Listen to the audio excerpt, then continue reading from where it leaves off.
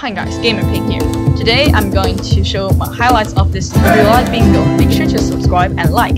Let's get into the video. Mm, so first I started off with the healthy goal, which I did with putting growth enchant on my armor. It's pretty easy. Then I mined some gold and crafted the cleaver for the multitasking goal. Next, I mined some diamond and got the rare diamond reforged stone. And finished the reinforced reforger goal. Next, I farmed some mushroom and crafted the magic oh, mushroom soup for the taking flight goal. You can buy glowstone from builder. You don't have to grind combat 24 for the glowstone. Next, I went to the dungeon hub and finished the sightseer goal which is visiting 7 public islands. Next up is murdering cows. I killed some cows and got the small backpack receipt for the carry on goal. Then I went farm some sugarcane and brew a lot of speed 3 potions for the brewer goal. This goal almost took 3 hours. After I got the Reckless Fan, I asked my friend to splash me strength and I completed the Strongman goal.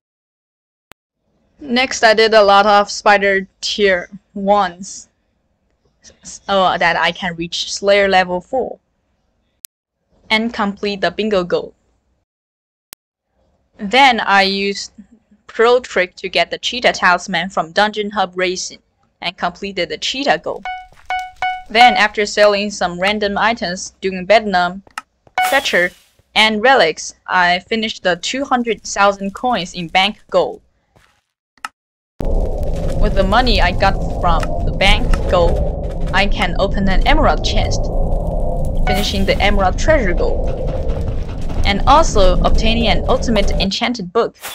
So I also completed the ultimate enchanter goal, multitasking. Next, I went to check my slime minions, and it turns out that I have enough amount of slime balls for the slime ball collector goal. While doing commissions, I also got the Training Weights to 5 strength, completing the weird flex goal.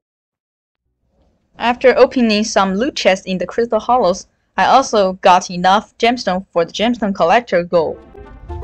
Then I searched almost 2 hours of precursor remnant loot chests and finish the Sapphire Crystal goal. After almost 3 hours of wheat farming, I acquired the total 140 enchanted hay bale and purchased the wheat minion 12. Next, I went to Dwarven Mines um, and mined an hour and a half lapis.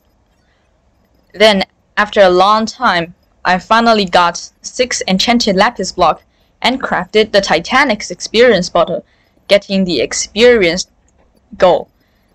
And the last time to collect my Enderman minions. They have already produced enough Ender Pearls, so I completed the Ender Pearl collector goal too. That's the end of July bingo. It took me 18 hours in total. This mid video isn't easy to make, so please subscribe and like and support my channel. Thanks.